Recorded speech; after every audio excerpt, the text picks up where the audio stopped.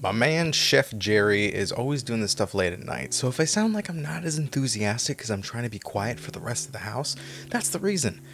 Mariners made a trade, a big one.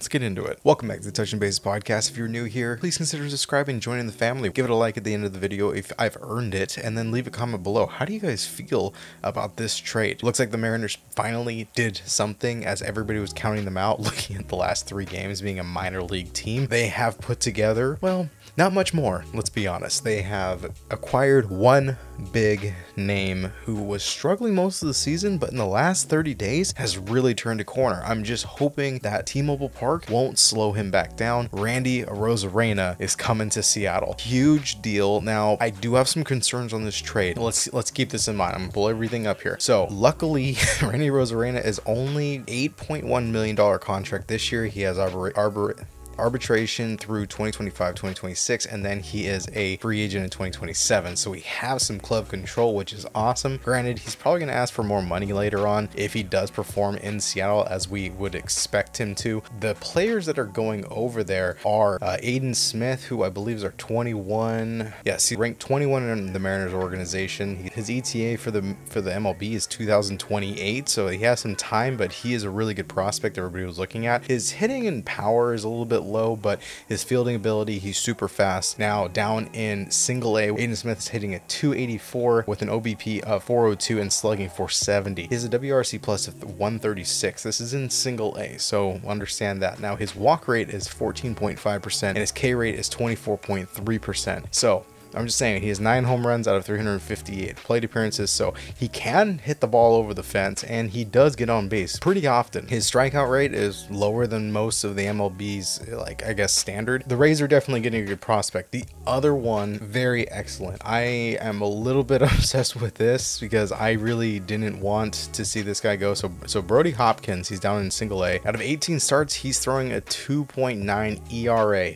He's got 95 strikeouts and his WHIP is a 1. 1.22, which is, I mean, a little bit high, but honestly, that's pretty average if you ask me. And he's got a pretty good sample size, so I can see him going up through the system. He's only 22 years old. He's six foot four. He was a six round pick and overall 187th in the draft of 2023. So this last year, I am pumped, man. I now look, I know this is not going to fix the Mariners, but the fact that we have something on the 25th of July and we still have about six days left to make some moves, I'm hoping that Jerry is cooking for a little bit more to try to make that happen. You know, it would also really help is if Ty France gets picked up by another team to take over that contract that's $6.775 million. Hey, shout out to the Couch GM for, for giving me some info on that contract. I had some questions on that. So shout out to you, brother. I appreciate your help. If that's able to clear, that will open up $6 million for them to go out and forward a much more expensive player with a lot more trading options. Also a player that is named to be last. So someone's going to be named later on. That's what I worry about about? Are they going to be giving away Cole Young?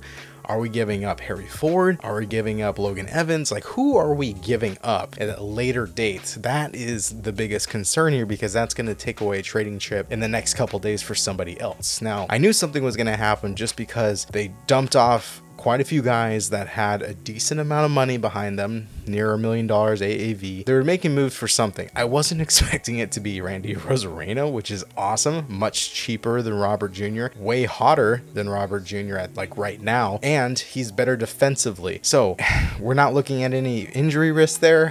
I just I just hope that now Julio can come back and play in the outfield with Randy. I mean, it feels like a dream right now because I was not expecting them to do anything this offseason or maybe pick up players nobody was talking about on the lower side. So I mean, this is this is cool. Granted, I wish Isaac Paredes was included in this or Amed Rosario, even though he would have been a rental. It would have been much more ideal to have someone else in this package, and maybe we gave a little bit more. The fact that it's finalized, the fact that it happened, that we got Randy Arozarena, and hopefully, God, hopefully he continues where he left off. Overall, 213 batting average. It sadly matches the rest of the team right now, so maybe he is going going to bat the near 300 that he's been batting the last month in Seattle. So um, I have no idea when his first game is going to be. I'm going to assume it's going to be tomorrow when they get back on the field. So look forward to that. Randy's coming to Seattle. So a quick little video to put it out there just so you guys can get an update on. Pretty crazy. I can tell you right now, Dodgers fans, I know you're upset. You guys wanted him to go there. I actually did a mock trade that involved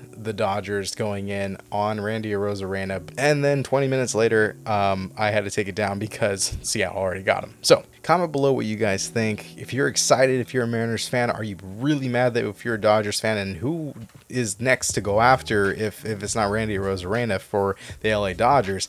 And if you're a Rays fan, how do you feel? Some people are saying they got fleeced, but Aiden Smith in a couple years, he he's going to be someone we might even regret giving up. I know for a fact Brody Hopkins is going to be an amazing ace pitcher by the time he hits the MLB. I know it's further on down the road, but there needed to be some moves, especially going into next year. Subscribe if you haven't joined this family, and uh, hopefully the short video got to you unscripted, just my reactions. I, it's exciting to hear. Thanks for joining me tonight. I'll see you all later.